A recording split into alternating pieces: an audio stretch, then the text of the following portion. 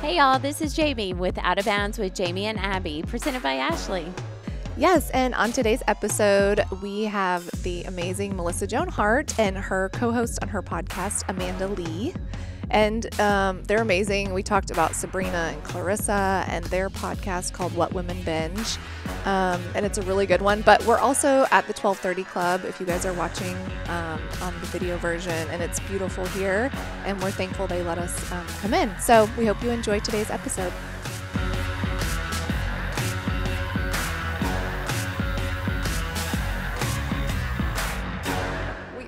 Start at the beginning. And since you guys have a podcast named What Women Binge, which is what Jaimie and Abby binged for the last four days, and it's amazing. We kind of want to start with like your friendship and how that started. Um, I think that's appropriate, right? Well, Yeah. Well, um, random Thursday afternoon, Melissa showed up in my kitchen. Oh, I love my that. son invited himself to her house, and I had to go pick him up. That's how it all started. And you know those play dates where like the kids won't leave, so you end up just sitting with the moms in the Yeah. in the kitchen, and we became fast friends. Like really fast. talked for like over an hour, and then I was like, oh, I think I gotta go. so yeah, it was all my son's doing, just of like bullying himself into her like car. Really, He like, didn't take bully. Me He was so awesome. sweet. take He me home from school. and, and kudos to our kid's school for not telling me how to get in touch with his parents because he was like, just call my mom. I was like, cool. I don't know your mom. Yeah. Did you not know until she showed up at? So I found kitchen? out the, like the day before. So I asked around. I was like, I need Tucker's mom's number, and they were like, uh, you don't know. And I was like, what am I missing? no. and they were like, ah, Tucker's mom's Melissa Joan Hart, and I was like, oh. cool, cool.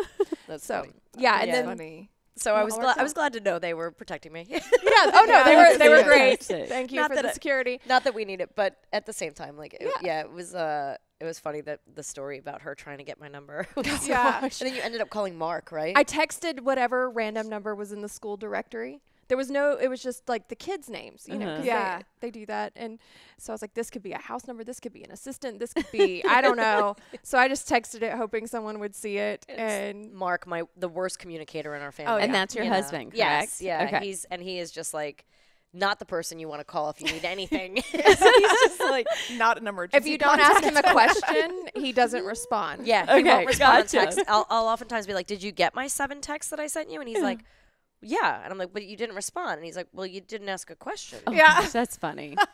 Give one word answers. It's hilarious. I learned this very early on in our relationship. Yeah, yes, you did. So how many years ago was that? this, two, Just two years ago. yeah.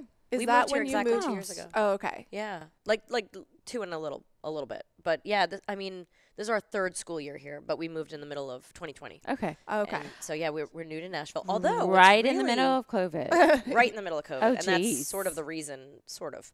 Um, we were well. I was. I have a very complicated past. Like, where are you from? I'm like, I can't answer that.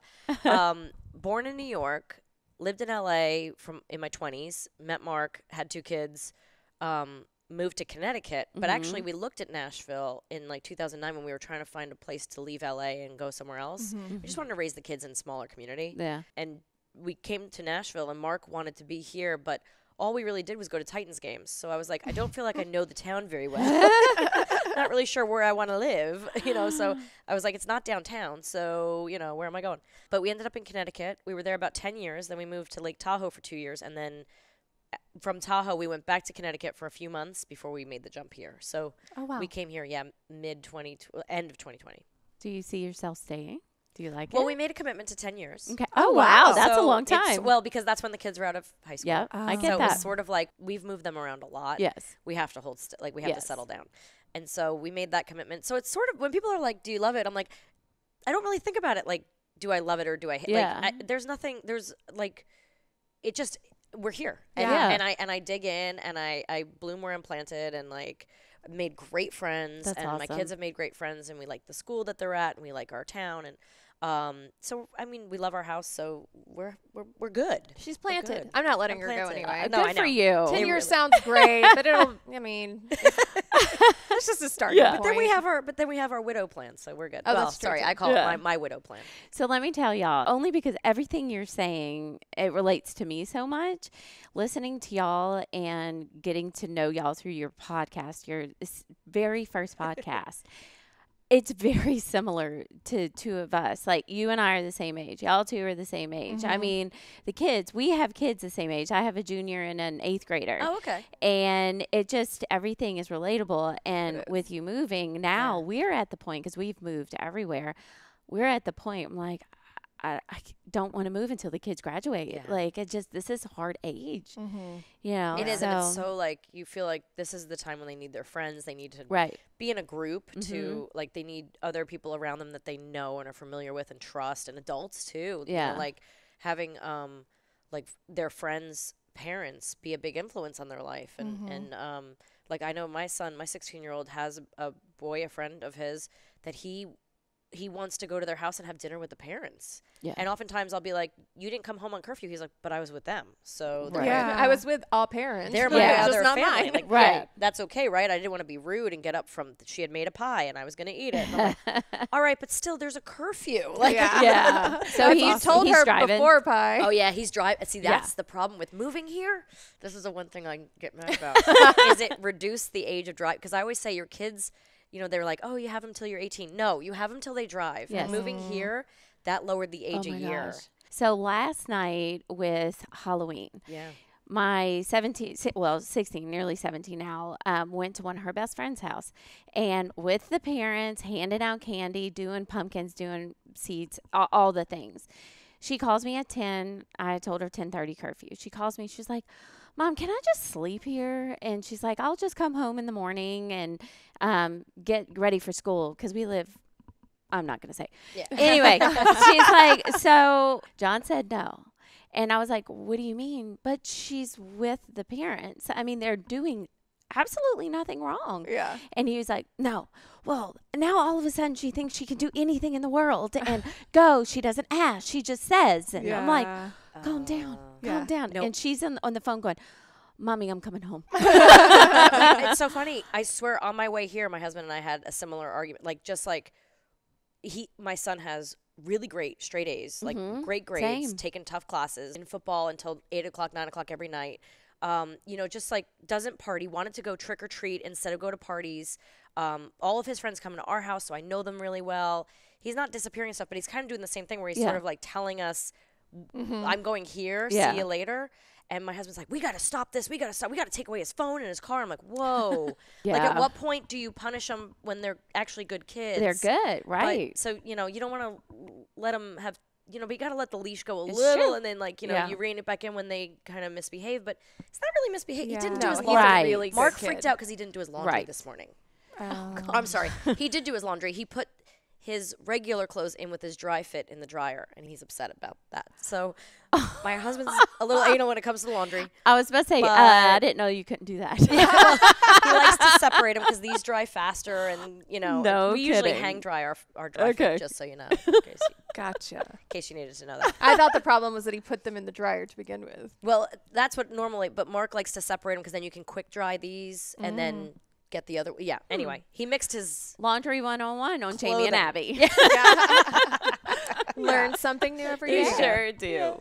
yeah, that's tricky though when they can drive and like you're they're not under your control, but yet like they're leaving in two years, so you do have to let them like learn on their own. But Yeah. I mean, my kids are little, so I can't speak to it. And yet. he's a good. Dri- He's a really Mhm. good driver, so it's yeah. You guys have that in common with the little kids. Yeah. Yeah. yeah. Yeah. So uh, oftentimes we'll get in like fights where we're all of a sudden we not fights, but like we'll disagree and we'll go, oh wait, our kids are different. age." Like Very Yeah. different I'm. Yeah. seeing the big hairy boys that are like, you know, wanna like I'm talking to their door most of the time. I She's don't like, "You're to them." coddling them." I'm like, "They're seven. and of I was like, I'm coddling them. well, we got an argument about the Jeffrey Dahmer thing. oh yeah, yeah. because the Jeffrey Dahmer, um, I didn't know anything about him, and then I Mhm. looked it up, and I didn't realize it was like teenage boys. That were horrifying, right? But we were talking about like what could the police have done differently than let the boy go back in Jeffrey Dahmer's control, like when he was drunk? Like, should they take in um, intoxicated children? And I was like, well, I think anyone intoxicated maybe should go sit it out in the holding cell for a little while and before anything bad happens. And she was like, "Don't put my kids in a holding cell." And I was like, "Oh, you can put my kids in." it." but then I realized like mine are big boys Yeah. Right. that need a little scare, and yours Yeah. are itty, itty bitty little. no, I'm still thinking like, no, they're fragile. You'll break them. You want to pinch their little cheeks. well, let's say this. So you have three boys, and you have a boy and twin girls. Yes. And what are their ages again? Uh, Riker, my boy, just turned 10, Uh-huh. and my girls will have just turned seven when this Seven. airs. Yeah. Yeah. And then Melissa, how old are your boys? 16, 14, and 10. So we have the 10 year olds in Gotcha. common. That's the that's Oh, the, that's the connection. Mhm. That's okay. the- yeah, gotcha. yeah, that's, the matchmaker. My oldest, her youngest. Yeah. Okay. Well, you have a long way to go to meet my ages. I know. Well, I How have a seven, so I have a daughter that's seven and a son that's almost two. So Oh, okay. yeah. Oh. And I have 13 and 17, 16. I keep saying 17. Her birthday's this month. That's Yeah. why I keep saying it. I know. So it's it is. Well, yeah, It's actually, my son will be 17 January. Yeah. So he's a sophomore, a junior. he is a junior. Yes. Oh, I didn't realize that. Oh, so they Okay. are the same. They are the grade. same age. Yeah. Yeah. Yeah. Yeah, and then my cool. eighth grader is actually he's 14. He'll be 15. Um, he- he and the little one, um, we uh repeated. I don't want to say held back. No, we repeated Yeah. um last year. Kind Okay. of, kind My- of when we started Yeah. here. we And my little girl is eighth grade, 14 in January. So Okay. very common. Yeah. Very common. So let's go back to the podcast. How did y'all come up with this concept? yeah. It really comes from like during COVID shutdown, my girlfriend's back in Connecticut. I was living in Tahoe, but my girlfriend's back in Connecticut. I have this massive group text of girls, and everybody was constantly, "What are you watching? What I need a new mm-hmm. show. I need a new book. I need a podcast for a long drive I'm doing. I need I need I need." So one friend was like, we call her spreadsheet. She was like, "I'm going to start a spreadsheet." Literally, we call her sp- like she had Everyone a, needs a She had a birthday their yesterday, and we were like, "Happy birthday spreadsheet!" Yeah, no, totally. we have some That's of those down you. here. We have those Happy? That is me. That is you. Yeah, yeah. Your spreadsheet. But um, so she was like, "I'll start a spreadsheet," and I was like, "Why don't I start an Instagram page? This would be fun." And so then I was like, "Well, I'll just find like, you know, movie covers and book covers and whatnot to put on the Instagram page, and I'll finally have a pretty Instagram. Like, I don't have one of those pretty Instagram. Like, mine's not curated. It's not." Pretty. It's so real I was life. like, it was real life. It's dirty. There's some dark pictures where I'm like, that's the only picture I got of my kid. I'm sorry. I, I, Scrolling is that your stomach? Get this girl a snack. Mama's hungry. Here, Snickers. actually you want a Snickers? it really, satis- it really satisfies. I think. I'm not gonna eat it on camera, but for later. I love that. That was perfect timing. That was really, really good. Um, oh, so it, so so yeah. So I started the Instagram page, and uh, and then I was like, people have always been asking me like, would you do a podcast? Would you like my agents? Would you do a podcast? Would you do a podcast? And I was like. I mean, maybe. What would I do? And I kept trying to think up things, and they felt forced and whatnot. And then this kind of came up, and I was like, I want to talk to people because uh, so often you sit down and you talk about like, what are you watching? What are you? Right. Oh, have you watched the new House of Dragons? Have you watched the new Handmaid's Tale? Have you, you know, did you Mhm. check out this new show? Have you heard of this? And there's just so much content to weed through now. So I was like, let's do this. And then Amanda, um, her husband works in kind of like broadcasting and Media, entertainment. all yeah. Different forms. So we were like, I was like, do you think Logan would do this? And she was like, yeah. And then I was like, and would you be my co-host? Aw, Because I was love like, we have such fun talking, and Yeah. we never run out of things to talk about. We were like, this could be We really don't. fun. That's awesome. then And she it was- designed the studio, and Yeah, I was gonna ask if you do you have a background in design because I know you. Sort mentioned- of. I went to art school and then fashion school and then weather school. Oh. Um, she's a weather girl. If you guys Weather seriously during the tornado watches here, she's the one who tells everyone who needs to hunker down. yeah, so I started out in fine art, which was my passion. I love it. Um, crafty and creative, and I went to fashion school just to get my degree and be done because I was ready to be a mom and stay home and do those things. And a little while after my kids were in school, I was like, you know, I always really wanted to do weather, and I didn't think. Like, I wasn't an academic person, and I didn't think I had the math brain that was required. But Penn State has this online program. I was like, well, you know, I can't really tell my kids like you can do anything if I don't try and do something that I really want to do. So I went back and did weather. That's Oh, amazing. So she's she's literally uh, like our forecaster. She'll be like, guys, gonna be a big storm. You know, bring stuff in. Like you know, you know, she's telling us all the different things going on. I need to It's introduce gonna be you a beautiful to my mother. day. We gotta go for a walk. Every day. Jaimie, it's going to rain today. Watch out. I feel like Jon's really into weather too. So long, sto- not a long story, but our old president used to be for the Titans. Used to be a major, major weather person. He would send out mass emails, and Jon still gets them to this day. Of if there's tornadoes coming, or so Jon's like, "All right, Steve, what's happening today?" That's a in good the thing to know when you're running a football Yeah. program, though. Especially with the open stadium, right? right. oh yeah, totally. That's why they're gonna put that dome on top or something. Well, we were out to dinner and we like had a couple glasses of wine, and then Jon texted and was like, "All right, there's a storm coming. You guys need to come home." so true. and we had to leave. And we both left. We left because we obey You rules. take it- you We take obey- and it didn't rain. we, Oh we don't gosh. obey rules, but we do obey Jon. we obey Jon. Jon speaks. yes, we, we do what he says. the last one, I, I I happen to be gone for the since we've lived in Nashville. I've been gone for all the tornado. Anytime a siren's gone off, I've missed it. Which thank God because I think I would freak out. I literally, as a child, growing up in New York, for some reason, I had terrible nightmares about tornadoes. I was gone for the last one. I was in New York, and my husband sends me. I don't know if he was teasing me or I don't know. He, he sent me the audio of just the sirens going off. And I was like, "Are you in my closet? Like, you better get my closet's like the only safe place, the only place without a window. Like, you better get in my closet now. Bring some snacks. Bring a char, like charge Yeah. everything. And helmets. like, yeah, oh yeah, For the oh, I didn't kids. even think That's of that.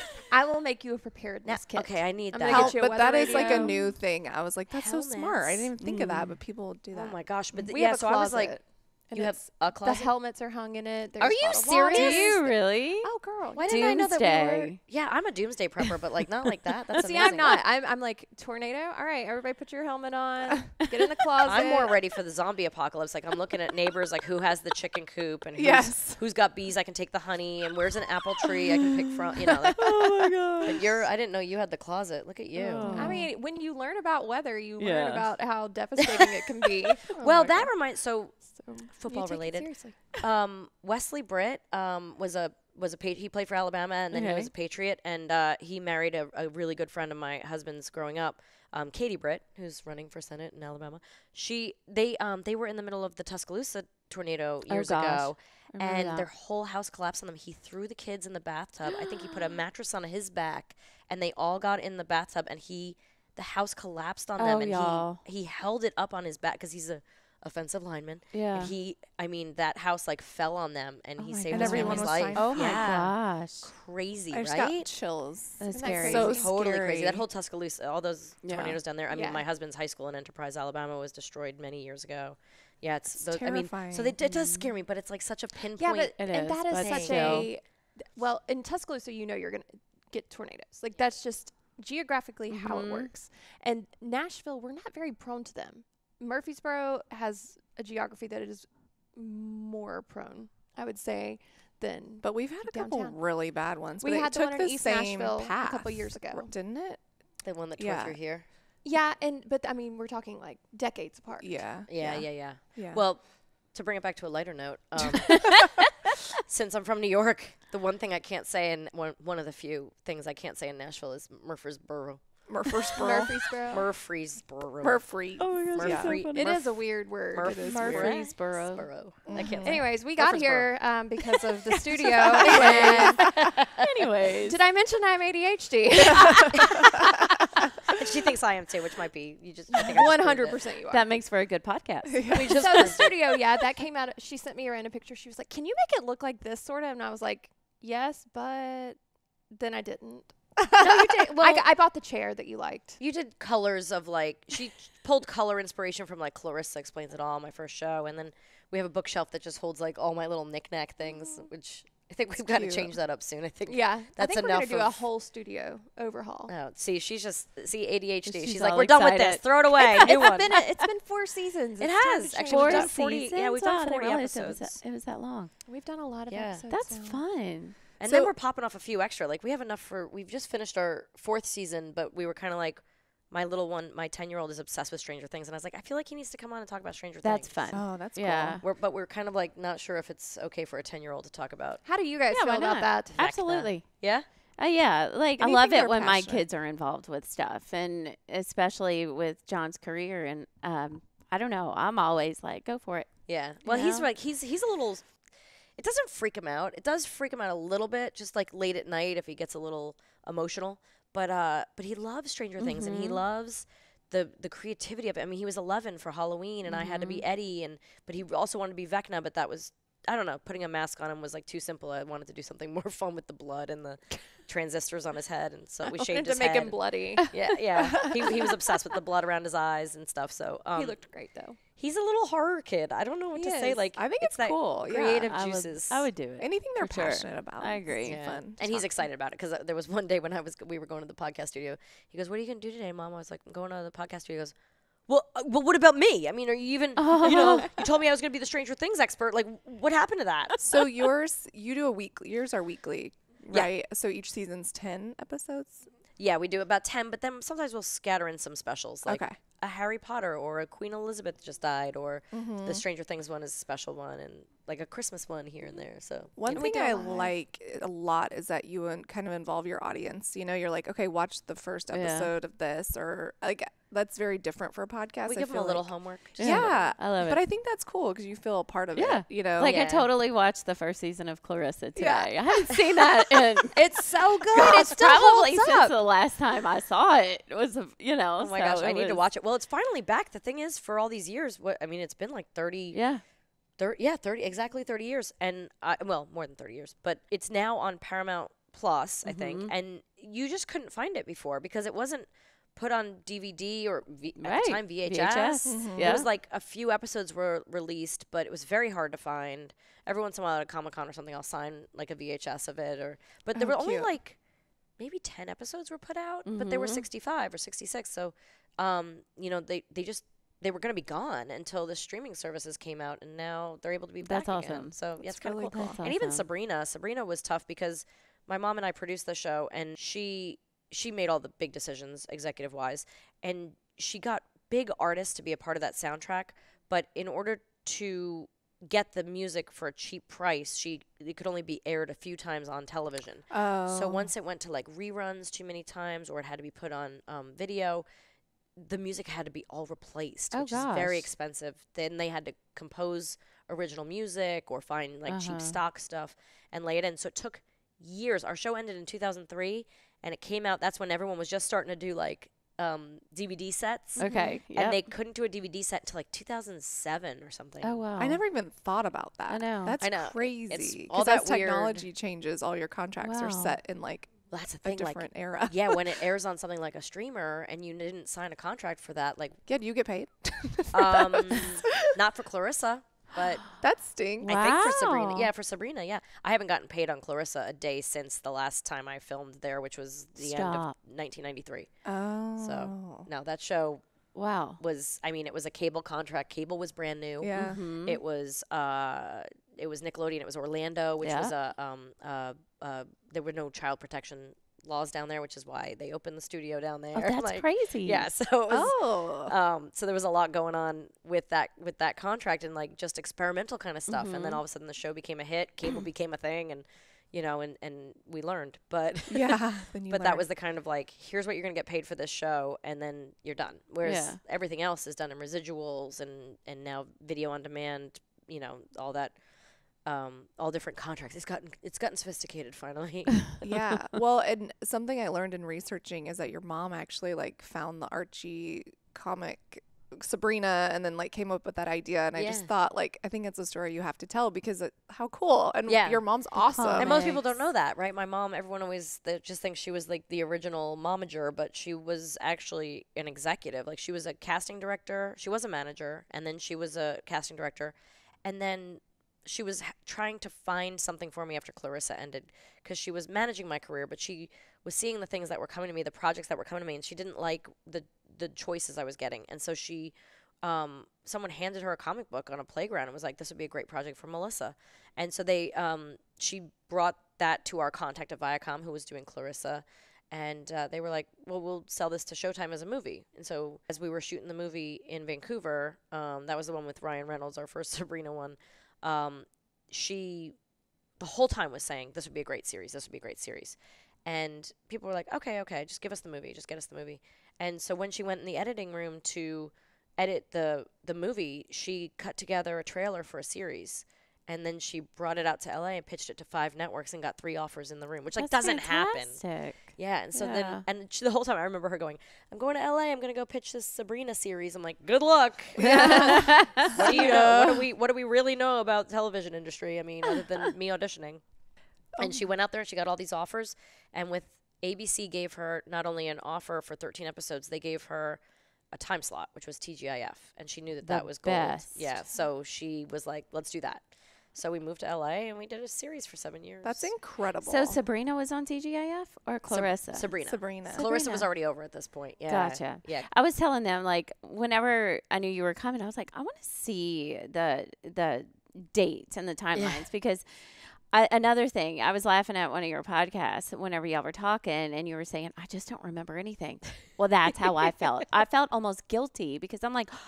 I know I watched uh, Clarissa and I know I watched a little bit of Sabrina, but I don't remember anything. Yeah. And it was, it was like when Clarissa was right whenever I was graduating high school. And then after that, I was so worried about FIMU. I was, and, and I had a little black and white TV that didn't have cable. So I, I- Yeah. it was, No, that was, I mean, Clarissa was, was basically my high school. That's how I remember Yeah. the years. Like, I graduated high school when Clarissa was over. And then Sabrina was basically my college years. It was, well, Mm-hmm. 20 to 27. And then 27 is when I got married. So it was like oh wow. before marriage, after, you know. So then That's after marriage came Melissa and Joey. And Uh-huh. then, actually, that was after my second son was born. So I know that was like 2009. that's and a- then, that's awesome. and then No Good Nick was 2018, which I don't know why, I rem- but that date will probably always stay with me. Just a nice round number. 18's, Yeah. 18's a lucky number for me, so I always remember that.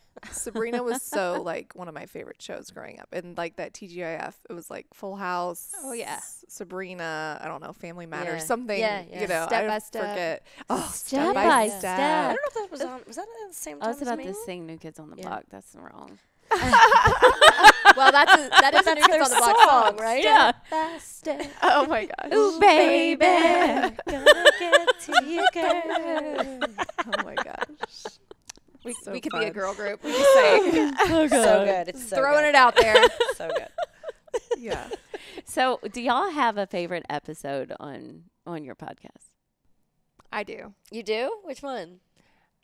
W- This one, it, it might surprise you. Actually. Wait, have yours okay. first before she says. Oh. Oh, okay. because that. It's hard because so many of them are my friends, guys. It's hard to pick. Well, okay. Um, I know but what you you're don't have say. to pick. I would say I loved Rita Moreno. I knew you were am gonna say obsessed it. with this woman, and I know she's 90, and that's not like, you know, it shouldn't be a really cool episode. But to see a woman is a this episode, vivacious and this passionate about life and men and everything, and like, she's just a gem, like a national treasure. And I just I can't get enough of talking to her. And, and I have to picking her ask who she is. Rita Moreno was um know. she's an EGOT. She won an Emmy, Grammy, Oscar, Tony, Okay. Oh, wow. Peabody, Oh, wow. Presidential Medal of Freedom or No, so- um, Presidential Medal of Honor. no, presidential it's the something. um, Kennedy Center honor, right? It's some presidential thingy. Mm. I don't know. I don't know. but she, she, I mean, she's won numerous awards. But she was best known for West Side Story. Dated Oh, Marlon wow. Brando for ten years. Okay. Tried to make him jealous with Elvis. It's Oh, I mean, just to ha- talk to this woman, her stories are like old Hollywood. wow. she did um, the Electric Company, which was probably before Yes. Okay. time. Okay. It was like a kids show. Gotcha. That was Yeah, like pre She loves her electric company days. Yeah, I mean, she's just um, Oh, it's just amazing to talk to a 90 year old and just kind of you know get the not the wisdom that she Yeah. has, like mm-hmm. hear about it and her life and how she's just thrived. And She another is one is actually. wild. Like another Is one that I think is really fun is like Tim Mahoney from 311. That was a guitar Okay. player. That's a mm-hmm. fun one because it's someone we were like, is you know he's a friend of mine and he's coming to town and he's willing to do it, but he's kind of shy and he's a guitar player mm-hmm. that nobody really hears from from a band that's been around forever but like has a very specific fan base. Uh huh. But he's just so fascinating and nobody ever hears from him and to get an hour with him was kind of I love exciting and fun and then and then the fan base came out for it, man. They Yeah. loved it. Oh, that's cool. All right, what's yours? Yeah. Okay, I have probably two favorites. Okay. Okay. Um, the Big Show, Paul White. Oh, yeah. So funny. Oh my gosh, he was amazing. to have like a seven foot two guy talk about his cats and um, ha- Handmaid's Tale is Is why I need to listen to that one. It's so good. he's so funny. he it was just so unexpected. He, I mean, I knew him from wrestling. My husband and Yeah. son are really into that, and so I, that's what I knew him from. And I'd watched a sitcom, so I expected this kind of big burly guy to come in and talk wrestling, and no, he sits down and he is like in this immaculately tailored outfit and Barely fits on our sofa. barely fits in the studio. Is he really seven two? He's huge. He's yeah, something Yeah. like that. I Yeah, mean, maybe he's not, a he's full foot taller than me. ginormous. Yes, I was like um like I was like I looked like a baby on this set. um, so I, I loved his episode. Go and definitely watch that one. I you can listen to it, but it doesn't have the same effect. But he sh- he comes across as But very he- sophisticated I- and elegant. I and you're like, texted him- How? I was like, "What do you want to talk about? Like, what are you binging?" He's like, "Oh, we got to talk about *Handmaid's Tale*." I'm like, That's "Okay," funny. but he's also really into Dungeons and Dragons. And he plays with like Vince Vaughn and like, so he was talking all about his D and D and like got very serious about it, just and and then his 13 cats, and we were he like, has "What?" 13 cats, y'all. Are you serious? In the house? They have their own room, from what I understand. Oh, my niece has a catio. Oh yeah, Same. this is She- a new thing. Yeah, she. th- My brother-in-law built her a patio for her cats. That's a good Wendy, idea. Wendy Yeah, from the Goldberg, yeah. she has a catio. I think I just realized they just someone just built her a catio. That's Yeah. amazing. You have a cat room. It's Closet? a closet that holds their litter boxes. She's and their put food like a little door, and they yeah, it's amazing. Ew. This is the creative side coming out. her house is like the inside of her brain. Like her, the inside of her brain is so fun, and like she's made her house that. It's, It's it's weird. Oh, that's but it's, cool. it's great. I like it. yeah, no, it's It's great. for me. Okay, what's your second? Okay, Kathie Lee. Oh, okay. Oh, I bet that Mostly because my entire life I wanted to meet her. Uh-huh. oh no, I have a third one too. Oh, oh, which one? Okay, Kathie Lee. She talk about like a woman who is confident Mhm. and I bet. entertaining. I bet she would be fun. If you ask Kathie it. Lee what her favorite Yeah. anything, it is Yeah. her It's her. Uh-huh. She loves Her her, and project. She loves her work, and And her wine. and her wine. Yeah, Kathie Lee, Jesus, and wine. and she's amazing like that. Like she actually has that confidence and, and, and faith in her own, not only her faith, but like her her abilities. her abilities, and, and she's so proud of the work she's done, and that's like that's kind of a rare thing to That's see. awesome. It I was think it's cool. funny though. We both just chose like old, like an, uh, like a generation above us, and a man that we didn't expect to be entertaining. The third, well, the third one is I introduced um, Melissa to emo music. We had on Chris Carrabba from Dashboard Confessional, Yeah, and I- she, I'm a huge fan. I and don't now I what now I that listen is. to it. All the Oh, time. okay. Well, I'm gonna open a whole new world to you. I have no idea. so I went through like a scene kid phase Okay. in my teenage years. Some people. This is like know. an underground world of music that Have- I did not really. you I ever mean, I- Never heard heard of it. of screamo music. I've heard of it, but I haven't. Okay, so that was a thing, and then along that same line was emo music, which was just deeply emotional, kind of not dark but simple. Uh-huh. Um, and it was just like really highly emotional, sort of like prettier, melodic. like prettier. What we used to call like industrial, like what I like. I would kind of relate it a little bit to like maybe like a Nine Inch Nails with a nicer melodic sound, like Uh, yeah, Like, kind of it's less sort of that more. artistic, Okay. Very artistic. pulling at heartstrings and. So this and guy, emotions. Chris Carrabba, is the lead singer of Dashboard Confessional, and again, one of those like pinch me moments. I don't know how I got this to happen. Melissa agreed to it, and I I like, had no idea. I was "Oh like, my all right, I guess we'll do that. She was freaking out. and her husband. And people came running in the studio. We're like, so we're we're sitting there and he's where you guys are and Uh-huh. there's a he's playing guitar and singing to us and I am l- about to come Oh out my of my chair. I cannot contain myself.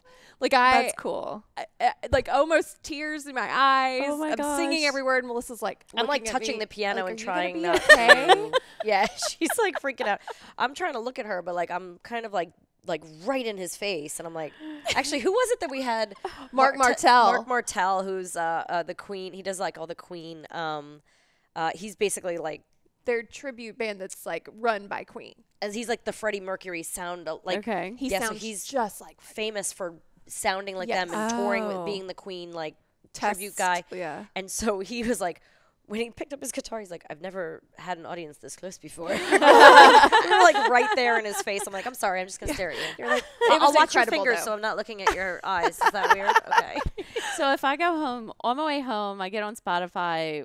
Dashboard Confessional, Dash- hands down is the song you want to Hands listen to. down. Wait, wait. What's the one from the Spider-Man soundtrack though? That's the one. I- Vindicated. Vindicated. I love that. I will listen to that song. I'll be like, Alexa, play EMO? Vindicated on a loop. It's Oh, emo cute. music, yes. So EMO. EMO. Okay.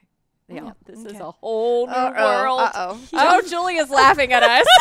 Jon's gonna be like, "What are you listening to, he Jaimie?" doesn't know. Julia, you were Oh, not expecting me to go He'll there probably today. know the song "Vindicated" because of Spider-Man. Okay. because it was Okay. the Oh, soundtrack gosh, to he is the Tobey Maguire's Spider-Man, right? Yes. Okay. Yes. Yeah. Okay. Yeah. Oh my gosh. Okay, so what what surprised you guys about because I feel like we are there are a lot of similarities, Yes. but like in being co-hosts and like has it changed your friendship? And I kind of want to hear the nitty gritty. Well, it just me. I mean, we just get to know each other on so many levels because of we'll talk about music and we'll talk about movies and books and every like we kind of go into all these different areas which then lead to stories about our life and I mean we'll go for walks for hours and Yeah. We, do this one path that's like six miles long and we'll just talk and my feet are blistered and and then we get to the parking lot and we'll spend another hour and be like do you want to go to breakfast and we go to breakfast for an like we'll just spend hours and hours together and then we'll Let's go to the pancakes podcast after we walk six miles. Yeah. and we do. and we do. Cinnamon That's roll, fun. anyone? Um, but yeah, no biscuits because we're in the South, of course. And That's for my my uh, We Nashville. should go to breakfast after. I know we should. I, I think I should call it my Nashville 19, like the weight I've put on by living Nashville here. 19. Nashville. I have taught this girl how to eat. I mean, love I mean, I had no problem before, but we do like enjoy our food. Freaking pimento cheese and the biscuits everywhere, and the fried. Uh, I I mean, fried pickles, fried. Uh, Everything's uh, fried. Yeah. fried green tomatoes. Like, I can't with the fried chicken. I can't. Walking up here, there's Hattie B's downstairs. I was like, I smell it. I know it's 9 a.m., but I smell it, and I'm gonna have to have some Hattie B's later. There's always dinner. It's coming. yeah. Another always- similarity between y'all and us is so you're reality TV, TV, your Oh, yeah. books. That's us. I'm books. Well, she's always. Well, books. I'm books. You're books. Well, I'm She's- both. I like reality. this girl will be like, I just Okay. read uh, 350 pages in the last 30 minutes. I'm like, that's like 30 seconds a page. Ha- I literally timed myself the other day to see if I could do it. It took me an, a minute and 20 to get through a page, and I don't know what was on that page. Hold it. That's how I am. I don't do it on purpose. But yeah, so she's she's the reader and the reality. I do read. I love to read. I Okay. just don't get as much time as I want. Because this one's reality TV. She'll say, "Did you see this?" And I'm like, "I don't even know what that is." I'm There's a a Bravo new idea. episode I don't watch TV. of Love is Bl- our new season of Love is Blind, and I am so ready. Oh yeah. I'm more of a Bravo holic. So I mean, I love Bravo too, Mhm. but I have no. I never. know. I, I don't, don't even know know. what channel Bravo is. Uh, me neither. is that weird? I've I just never even heard remote. of this. Yeah. which house which I have no housewives are you? Uh, well, I watch all of them, but I like Salt Lake City right Oh, now. we need to introduce her. Have to you Candace. watched one, Melissa?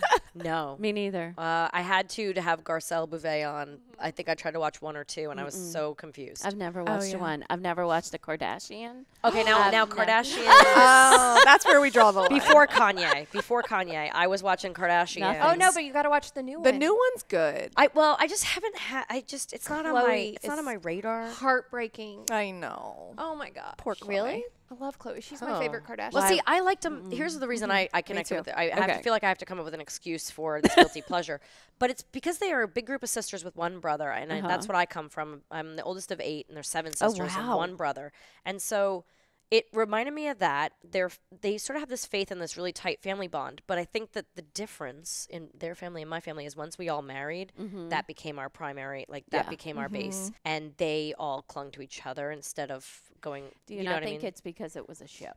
Um, that too. Absolutely. And their husbands And- were horrible. Uh, yeah. Well, I think that there They was made a some lot, poor yeah. choices. yeah. But they didn't cling to their spouses in a way that I feel like would be a healthy relationship. That's true. Yeah. Like I feel like that was a that, and it's probably because of the show that they had to all be together more. Um, but I feel like yeah, they didn't prioritize in the right way. Yeah. But anyway, that's my. But I, I like it. overanalyzing the I'm one of three sisters, so I like watching their relationship and their fights and their, you know, you're like, okay, that. we're normal. Or Yeah. normal, but, you know, it is normal to fight. We're more normal, Um, maybe. Yeah. I like No, but. I, I like it's funny. We were my husband and I were uh, doing some uh, uh, couples counseling the other day, and uh, when the counselor asked what we watched together, do we watch anything together? And he goes, "Well, she likes rape shows," and I went, "Excuse me." Oh my God. he goes, "You know, because A Handmaid's Tale." I'm like, "That's not." Well, slow down. That is Wait not the classification. I was like, that is not how you. No, I'm not. Oh my no, and I'm not even like true. I wouldn't even classify true crime. Literally, I'm like, I like high concept, fictional, Yeah. but maybe borderline Post-apocalyptic, Could happen. maybe. yeah, Yeah. like like uh, like uh, like a futuri- Dystopian. dystopian, futuristic, maybe like slightly futuristic, like could be in our lifetime, sort of. Str- but I love beautiful um, scenery and camera work and lighting and, and and fantastic performances. But I was like, but I I like all that, but funny. yeah, I'm like, you do, you do. Make funny. me happy. Yeah. yeah. Ha- Handmaid's gets dark, but Handmaid gets dark, it but, is like- good. I the concept is crazy. Not as and much as like lifetime cri- true crime stuff, though. I feel like, or the I saw I maybe two episodes and I couldn't do, go anymore. It, Handmaids? yeah, it was too much. For That's me. where I live. Yeah. Tell me the story. I think it's amazing. Yeah. I will I will receive do all it. the nuggets you want to give me, but I can't watch it. No. Yeah. Mm. You would like um have you done Bad Sisters on Oh Apple no, but I keep meaning to. so good. You would love it. Like that Five a book? Sisters. Maybe. I don't read. I'm just kidding. I do. I, I only read business don't books read. though. I don't read I don't read fiction. Um That sounds but yeah, it's familiar. like five sisters that one of the brother-in-law sucks and so they like maybe murder him. We don't know yet. He, yeah, he gets. He, I know he dies, and then they're all suspects or something. Right? Like, yeah, it looks really good because it's, It's funny really- and dark, And right? it's Irish. Like they're in Ireland. so it It's reminds me of uh oh, what's his name? Ricky Gervais' show. Um, Oh yes, um, where his wife it- passes. yeah, it's just Yeah. like dark humor. yes, it's funny though. like it like that. makes you happy, even though it's Well, The Great is kind of like that. Like I love. Oh, I have you seen The The Great. Great? That's one of my Oh, all-time haven't seen favorites. Oh my god, it's gosh, so good. And Elle he, Fanning and Nicholas Hoult, um, and so many people. The I think uh, what's her name's in it? Um, who think just I've played Margaret. Thatcher, and it's just a fantastic cast. It's gorgeous costumes. It's ridiculously funny, and I love that it's based in like a historical fiction Mm-hmm. because it's about Catherine the Great. So I love that. Like I feel like I'm getting a little bit of history with my entertainment. but entertainment. it's not real. It's dirty humor. No, it's not. But it follows along the guidelines. Like if you needed to know just a little bit about Catherine the Great and how she Yeah. came to power, Wait, I think I did see this. It's, it's really so good. funny. I think I actually did see this. Oh, Was it? Kinda risk- Fanning? Was it risky? Oh, it's Oh, uh, yes. yeah, Okay, I've very seen it. Risque. I've seen it. Mhm. I got a little uncomfortable too. No. my gosh. well, it's all that British humor too, where they use language that we're not necessarily Yes. comfortable with. Like you know, Uh huh. I don't know. Can we spell out words here? no, let's not. Let's just we, we know. We got them. you know I you can know think the of, words. Can think of a few. Yeah. Um, Anything that starts with a C. Yes. really. All the private parts that Totally. start with C. Just go with that. well, so back to sort of like your career, Melissa. How did you get into directing and producing and all that? Like, when did that happen? Well, around the time of Sabrina, because we were basically at the helm of that show, um, and my mom did the business stuff and I was more involved creatively, um, I enjoyed the producing aspect because I wasn't an actor for hire and I was able to have a real weighty say in what happens with my character. And that's really where I left it. Like with Sabrina, I left it with where my character lives. I didn't expand that to other people's characters or other storylines or general arcs of of where the seasons would go and whatnot. I left that to the writers because they knew what they were doing. And um, but my mom was in charge of like the casting, the music, the wardrobe, the editing. Um, and so she was and and the handlings, the day to day handlings with the network. Um, so and what the you know requirements were for them and how to deal with all the sort of politics of it. So I got an education on the set of Sabrina as far as being a producer in a in a more creative way, but also kind of stayed hands off with that for the most part. But if I had something to say, people would listen, which was nice. Because all those other years, I mean, they'd listen maybe if I was like, I don't think my character would say, then they would maybe shift things, but it didn't always get received well. And so it was with that that I started to learn I don't want to go back to being the person that has to do what everyone tells me to. I like having a, a say. And uh, and then with directing, I guess I was just really really bossy. I mean, like, You me? never. Nah. But I, uh, I mean, it really goes back to Clarissa days too, where I there was so much down for some reason there was so much downtime on that set. I got really bored between takes, and I started messing around with all the equipment and talking to the crew and hanging, you know, because those are my friends. Like there were the two boys on the show with me, but I wasn't hanging out with them.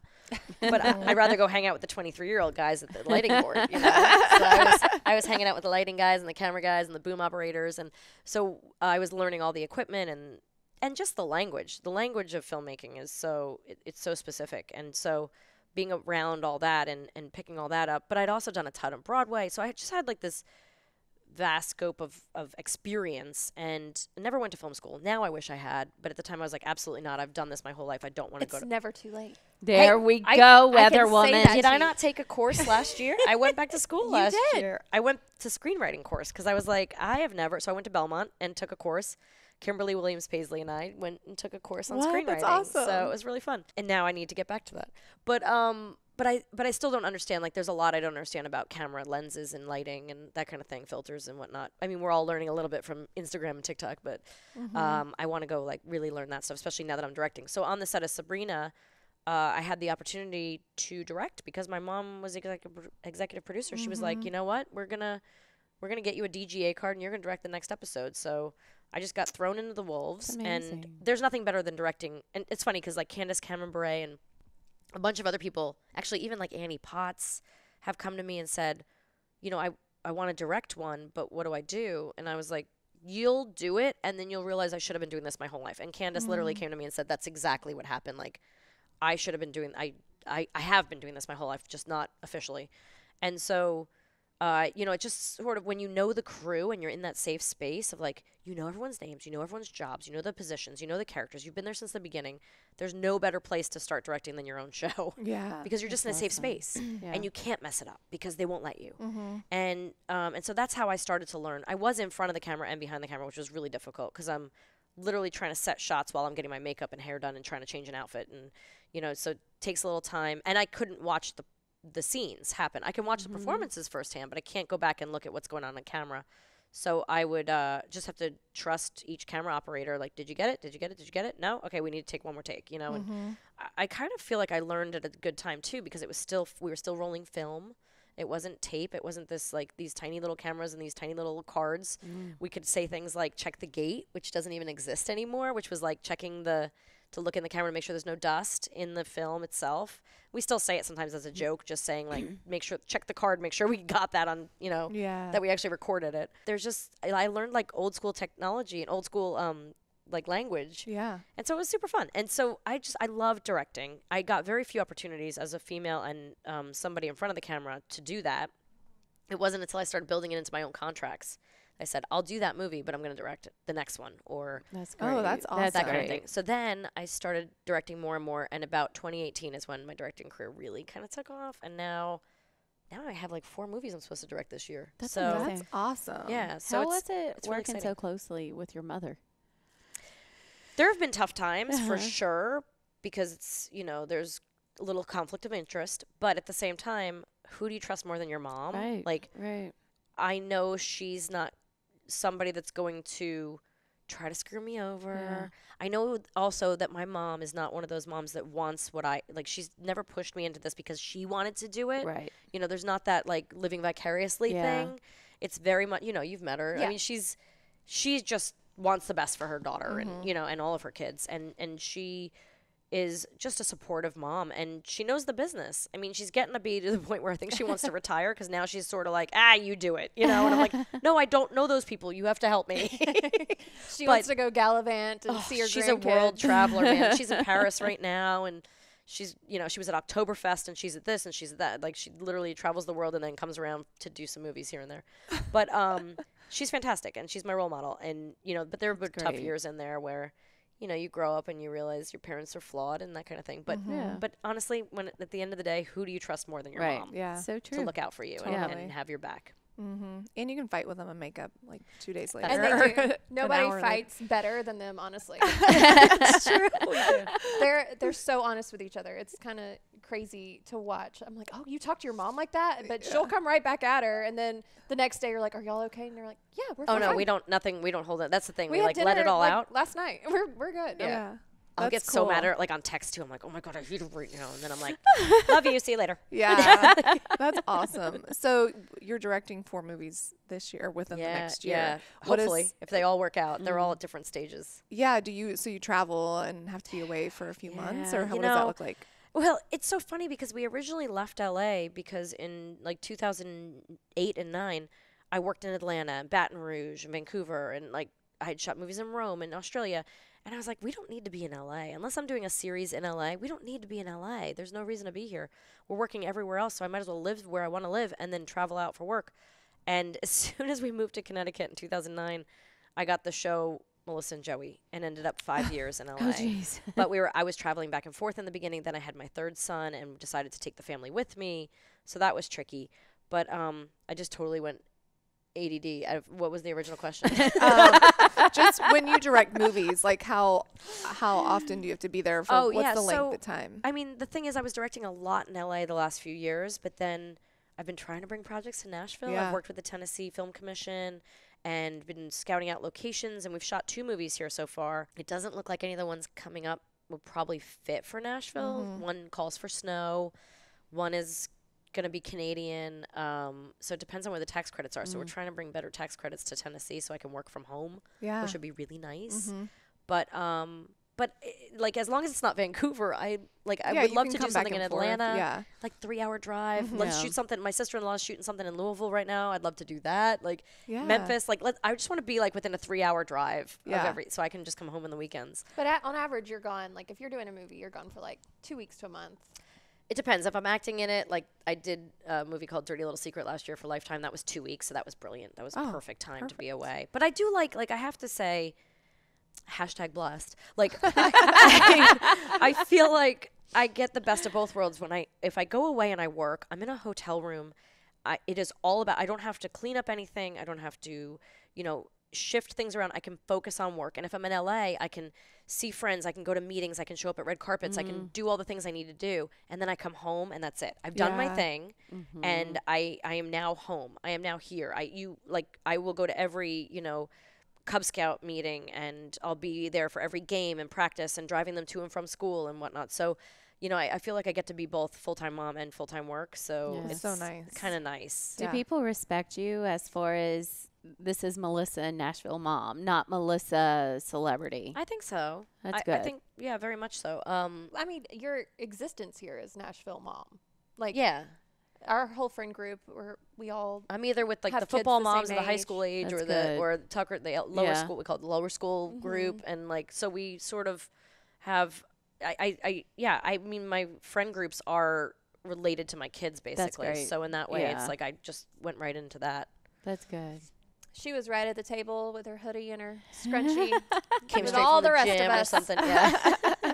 So how often are you going for big roles anymore? Um, I, I actually just auditioned for a big movie. I haven't auditioned in a really long time. There's a weird thing that happens when you have success in this industry, but you're not Sandra Bullock, um, where y- you're whether it's your representatives or the casting people, people in LA, they of course pigeonhole you into you know kind of stereotype you into a certain role that they think you can play or thing you can pull off or thing you're known for and that can both hurt and help. Like I did just recently audition for a TV show where I would play the mom of a witch. So Oh, that, you know, would obviously suit me, but it feels a little too much like a reboot, but Yeah. not being a reboot. Yeah. So, but the thing is, also, I feel like sometimes representatives tell people, tell act, uh, casting directors, they're not going to read, you have to offer. And they're not often going to do that with someone they don't know for that role, you know. For So I also just recently auditioned for the. Uh, like crazy annoying cruise director of a cruise ship. I So, really hope like, you get I that. know. but those are like the first two auditions I've had in like a year. Really? Yeah. So um, most of the time I have to create my own opportunities. Like you get to a certain level of success where y- if you don't create your own opportunities and you don't try to break out of the shell that you're already even though I've played four different three different title characters, four different TV shows, numerous movies and whatnot, I, I still have to kind of break myself out and, and find my own jobs and create my own opportunities, whether it's directing, you know, finding a great script and then finding a financier to come in and put it together as an independent or find a studio or I'm pitching a talk show. Like there's so many different um, ways I try to throw everything against the wall, but then I also feel scattered. So Yeah. it's tough. That's hard. Do you still get nervous? Oh yeah, I actually Really? was doing this audition the other day, and I really didn't even really want the part. And so I, when, I, when I was done, I went and talked to my husband. He's like, "Are you all right?" I'm like, "I am just vibrating. I just just give me a second to like calm down." oh my gosh. Now, before we end, because it, it we're getting late, we have to talk about Wheel of Fortune Oh, and what that was like. And I just realized that was just over a year to ago. I can't believe it was that long. I want to know what your foundation, uh, or not your foundation, the um, Nonprofit. yeah. nonprofit, like how did they respond to you It's winning based a million out of here dollars? too, which is well Memphis. Um, it's it's youth villages, and I partnered with them because I started a kids clothing line a few years back called King of Hearts, and I wanted it to have a charitable aspect. So for every I don't know what it was, 25 pairs of jeans people bought, we'd donate one to Youth Village or something like that, right? So we were kind of offsetting things with wanting to give back and donate. And I worked with a kind of a a, um, a headhunter for charities. I worked with this woman who knew all the charities and I said this is what I want. It has to be children related, it has to be US based, it has to be, you know, so I found Youth Villages and I think as of today they're in like 30 something states. Um, so they're still not across they're still reaching for all 50 states. But um they help children in every they help families really in every aspect whether it's um, children in uh, foster care adoption um, helping families stay together uh, um, children that might be falling behind in certain ways but mainly what the youth what the section is that I did. I think it's uh, called uh, LifeSet. And it's helping children that are aging out of the foster care system have somewhere Oh, yeah. have something somewhere to go and rely on. Yeah. they don't have a family Yeah. to go home for the holidays or to help them figure out how to navigate college or you know whether they should join the military or you know so youth villages really does that. And that's what the money That's i won i won a million? Oh my gosh i can't even remember. insane. one million forty thousand six hundred something like that Oh um my god. That's for- yeah awesome. so Oh it was God. it was the most ever one on wheel of fortune which i didn't know until a- way after That is crazy. Really? i knew I it was the first that. celebrity million and I think only the fourth million ever Uh-huh. won on Wheel of Fortune, but it was the most ever, I believe. And then the toughest secret you've ever kept. I know I can't believe. Well, I sort of kept it, but like I would like run my mouth to like a few people and then be like, no, don't tell anybody. And then a few months later, I tell a few because it had to wait six months. Oh gosh. Oh, that'd that be was hard. tough, Oh. especially with the charity because Yeah. they were like. I just kept saying I'm going to play for you guys, so everyone gets thirty thousand for their charity. So I knew they were getting thirty thousand. Yeah. But if I could get anything over that, I was like, wouldn't it be great to say I'm coming back with a hundred thousand dollars? And then I was like, oh, but let's aim a little higher. What do I? I really want four hundred thousand for them. and then it ended up being a million forty thousand. I was like, oh my gosh, that's amazing. And when I called them, I said, um, let's just say it was epic.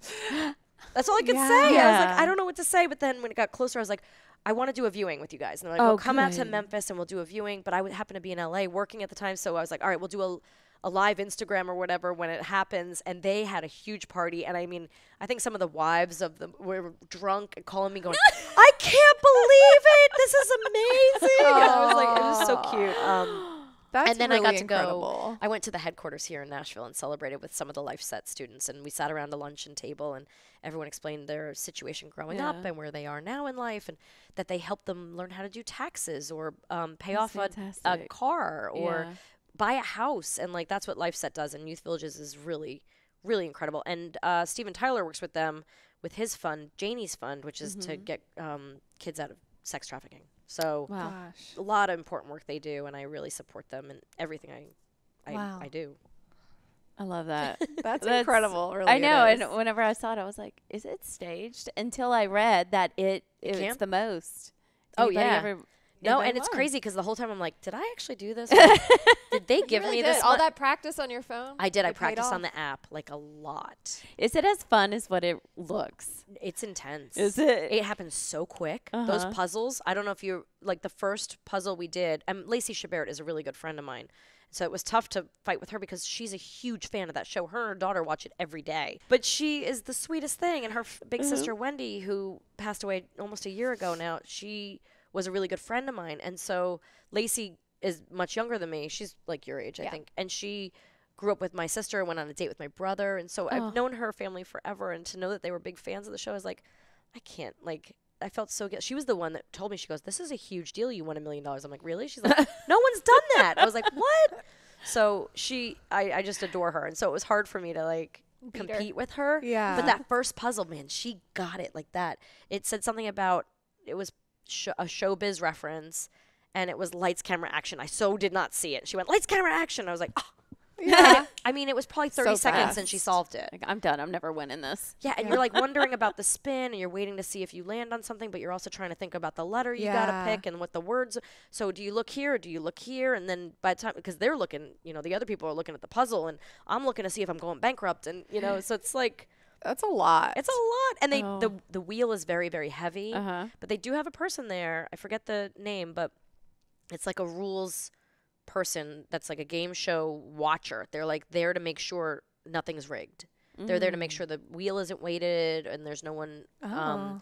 nobody That's messes with any of the results and like things aren't switched and whatnot. So, um, yeah, because I was like That's the whole time I'm like, did they? Did I? Did I actually? Yeah. Wait a second. Hold on. But the more I think about it, the more I'm like, no. I mean, I had You to really pick did the. it. I had to pick the category. I had to. So they didn't really know what category I was gonna pick, right? Mm-hmm. I mean, then unless they were watching me play the app and they know I like the foods app. Like the, food, the food category best. Yeah. Um, but yeah, and then I just happened to pick like letters at the end that were my initials. Strangely, I think because I picked an M, and I think that's the reason why I got brand muffin. That's so good. I picked an M, which I, I don't usually pick an M when I'm playing the app. So it was meant just to happened be. to pick an M, and there it was, and I, it helped me. I don't think I could have solved it without it. It's a game show miracle. It is. okay, one thing before we end is I thought I we, I learned about it on your guys' podcast, but the Bible on the TV shows I just think is so interesting. I had thought that too. because yeah. you always wonder how do they keep track of everything. Can you talk about it just for a second? Yeah, I. You know what's funny? I've never. So it's not a Bible Bible, people. Just so you know, it's not like you know, it's not Yeah. spirit spoken. Every show is supposed to have, and nowadays, especially because of streamers, you're supposed to hand in like a first or second script and a Bible to know what the arc of the show is going to be and where the rules are and what the what the whole overlying kind of themes are going to be. So. Like something on Sabrina would be like, oh, she was her 16th birthday is on. I don't even know if this is right, but I think it's on Halloween. So it's her 16th birthday. She's a- addicted to pancakes. Like you keep track of all the Uh-huh. things that have to, which they didn't put in the Bible in the beginning because I think she has pancakes on her 16th birthday. But um, but then weeks later we say that she is addicted to pancakes, and then we say that this. So all these things are kind of kept in record. Um, and it's funny because I'll watch shows and I'll be like, mm, that didn't hold up. What did I just- yeah. Oh, Hocus Pocus 2 really bothered me because I think in Hocus Pocus 1 they said that um, Spoiler alert. Satan, yeah, sorry. but not really. Oh, but like Satan Satan, was gave there. her, she goes, when Satan handed her the book, right? When um, book came to uh, Winifred. And then in the second one, I was like waiting for Satan to hand her the book, but it's not. It was uh, the actress from, um, From uh, Ted Lasso. Ted Lasso, Yeah. the gorgeous, gorgeous actress boss Oh, lady. Hannah, what's her name? Yeah, Featherston or something. I Uh, don't know. Waddington. And maybe, Waddington? Oh, maybe totally since it was a second, they were like, uh, nothing. You know, it doesn't yeah, have to but be I was like, I had just watched the first one, and the next night watched the second one. I was like, they lied about the Satan thing. But anyway, so uh, I just found it. Unless she's Satan, who knows? Maybe. But Yeah. I just like I like the that shows should keep to this certain these rules and Mhm. these um, overlying arcs of storylines and characters. Totally. It's a lot to keep up with. It is. Well, I'm watching 24 right now for the first time ever, and I just finished Lost. I took all year to watch Lost. Yeah. I But, tried like- to warn her. Oh Yeah, yeah, Lost, was yeah. disappointing. At the end. Should have ended season four. No idea. but but like but I feel like there they really could have used I feel like they went off the Bible. Like they Mhm. didn't stick to their Bible. They moved off to, you know, and they had these alternate realities happening. Which I don't think they had a Bible from the beginning. That probably would have helped. maybe the first season. maybe. But then they kind of like threw it away or burned it. Maybe it got lost. It's probably harder too because we do binge, you know, like back to back to back seasons, and you that's not That's how not the way they were shows- written. Yeah, you know, it's like True. you probably wouldn't remember that if you hadn't just seen the first season. Like That's, That's really true. true. you know. It's very true. However, like with something like 24, I don't know how people kept up with it because I'm watching it night after night, waiting week Yeah. after week. I, I right now I'm on episode like 18 of season 1. I wouldn't remember well, you Yeah. have like Yeah. that that two I minute did long watch that one. previously on. Mhm, previously that's on, good. but I feel like I'm watching those and they're not that helpful. yeah. But you know what I watch here's so I don't know if this is what a lot of people do, but like something I do is with previously previously on if you if you see something that seems like it wasn't a big story point at the time, but they on, you know that that storyline is Oh, totally. gonna be there's gonna be mm-hmm. a piece there. So I always love watching that stuff for just like what's this episode gonna be focused? Mm-hmm. Which characters or who's coming back or you know that kind of thing. That's why I like the ones for only murders Oh yeah. because it's always like, oh wait, that was a thing. Oh, And yeah. Well, I'm a little. I mean, you guys probably know if you've watched 24, but uh, they keep saying um, he he gives the little overview at the beginning instead of kind of previously on. He goes, he tells about the worst day of his life, that, that 24 Oh. hours. But he says even the people I'm working against, I can't trust, and they show a picture of Nina, and I'm like, I feel like at the end she might come back and be the bad guy, but I don't know. I haven't seen that in so long. I haven't I, either. I like. I have no idea. I used to watch it in college with, Yeah. when we were all hungover. We'd get, in bed, we'd get in bed and watch like eight hours of it. That'd be rough to watch hungover. I don't I know. feel like that's a tough one. the Kardashians, I guess. Oh my but we're all right there with you. So Yeah, that's a good one. well, thank you guys so much. We know you're busy and we love your podcast. You have Forever fans now. I really, really have enjoyed it. We so, appreciate um, it. So much. yes, thank you so much for being well, we hope we can have a good season for you guys next year here. or this year.